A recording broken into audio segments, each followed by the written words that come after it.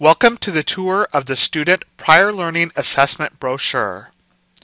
Starting with the front cover, our hook is Get Credit for What You Know or Have Done. With PLA, students may be able to save money and graduate sooner. By using stairs, we show that earning PLA credits is on their path to graduation.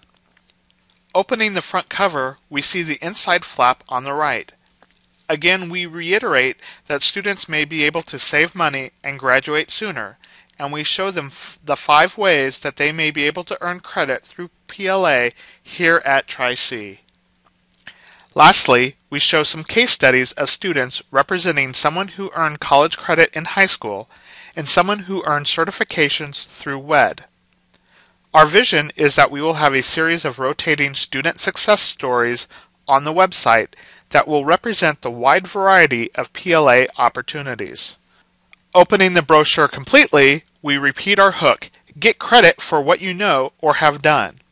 Then we provide a checklist of various PLA options. These five statements represent the smart form that was created in collaboration with OneDoor. Let's go through these five statements now. I have taken college level courses at other schools. I have taken advanced placement or college level examination program exams. I have served in the U.S. military. I have earned one or more industry recognized certifications. I have specialized skills or knowledge that I gained in my career that I could document to qualify for college credit.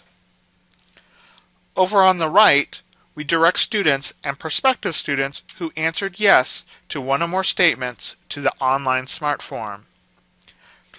For those that answered no or were unsure, we still want to offer them help, so we direct them to their campus counseling office. The goal of this brochure is to have current students and prospective students fill out the smart form.